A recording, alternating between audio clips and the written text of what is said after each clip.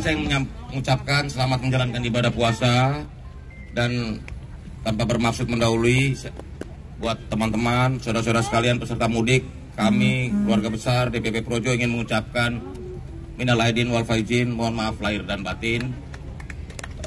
1445 Hijriah dan kami mohon maaf atas berbagai kekurangan selama ini. Mudah-mudahan Idul Fitri kali ini bisa membawa kebahagiaan kita semua karena temanya memang mudik ceria penuh makna. Kenapa kita harus ceria?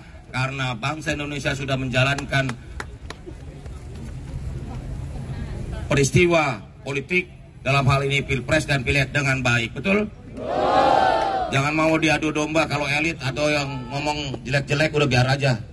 Saya yakin rakyat mau rukun, betul nggak? Kalau yang mau berantem-berantem biar aja lah. Capek, betul nggak? Jadi kita memberikan suasana yang damai, ceria, dan juga pulang kampung ceritakan bahwa di Jakarta baik-baik aja. Kalau kalau di Jakarta ada yang berisik-berisik itu mah satu dua orang aja. Dan itu kurang kerjaan biasanya. Ya. Ya satu sampai tiga orang paling banyak. Ya. Jadi pokoknya seperti kata Pak Prabowo, kalau ada yang ledekin kita, jogetin aja. Ya. Jadi mudah-mudahan nanti bisa kita berdoa bersama, mudah-mudahan kita bisa selamat semuanya. Sampai ke tujuan. Bisa merayakan Idul Fitri dengan penuh kebahagiaan, guyup, rukun dengan tetangga, ya Bu ya. Gitu.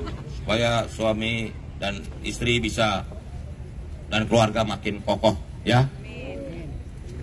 Terakhir saya mengucapkan selamat eh, menuju tujuan masing-masing. Jangan ada yang ketinggalan.